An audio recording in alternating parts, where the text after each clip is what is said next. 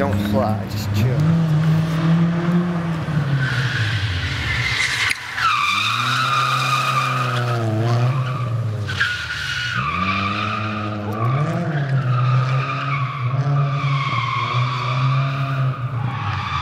that was almost a curve. Holy shit.